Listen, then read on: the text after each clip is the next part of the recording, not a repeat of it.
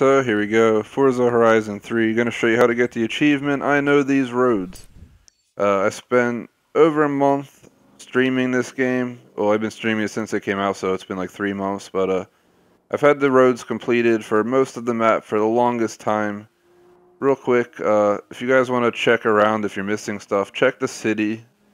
There's a lot of turns, a lot of area, uh, also these kind of areas where they have a lot of little dotted roads.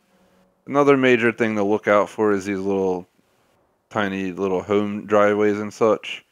I didn't find mine until now, which was complete luck. I decided to spawn right here and uh, ended up realizing I didn't have the full driveway. And there it is, Road Discovery 50, 488 out of 488. Got a 4% rare achievement, I know these roads. It's not very hard, other than the fact it's such a pain to make, you know, find the one road you're missing. Look, it's like floating out there, guys. That, that, I'm gonna show you guys real quick where I'm at. Right here. It does not look like, you know, there's a road there. It's kind of like floating out by itself. That's what I was missing. Uh, just quick recommendations again. Make sure you check all down in here. This is heavy duty area to check.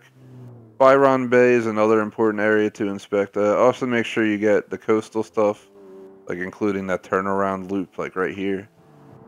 So that's that. Make sure you like and sub.